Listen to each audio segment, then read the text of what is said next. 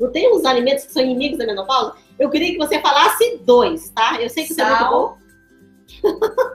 Só dois. Sal. que mais? E biscoitos amanteigados. Pronto. Viu, meninas? Olha só que bônus que eu tô dando para vocês.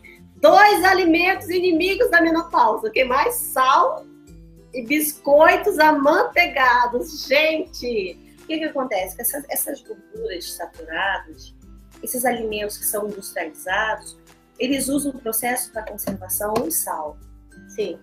Aí você já tem a gordura hidrogenada, que é trans, né? Que também vai reter mais líquido.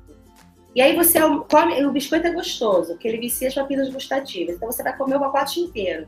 Uhum. Farináceo, gordura ruim, vai virar o quê? Retenção de líquido e gordura na barriga. Vai tudo pra barriga.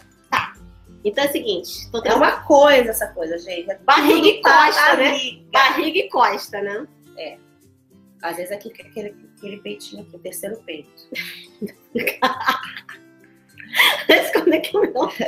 Você não tem. Não tem. Mas é o seguinte, eu tenho uma aluna que ela tem 35 anos e ela acabou de fazer um exame folicular. E ela disse que ela tá igual uma adolescente. Eu falei, não posso falar o nome. Ela pode estar me assistindo agora. Eu falei assim, amiga, você tem certeza? Ela, o curso da menopausa não é pra mim, porque eu não tô na fase ainda. Eu falei, olha, aí que tá errado, porque Tá ela vai errado. aprender e vai começar a ter esses alimentos diários, essas, essas atitudes diárias pra vida, pra quando chegar lá já tá, ó. Entendeu? Já tá bem. Entendi. Você sabia que lá na- na- no Japão, na China, o índice de menopausa é muito baixo por causa da alimentação. Eu li no New York Times, Mas é uma alimentação que eles nascem e fazem pro resto da vida, não é já é ela- natural. Já é natural. Então é muito importante você observar é, é por, por, por estados ou por países, né?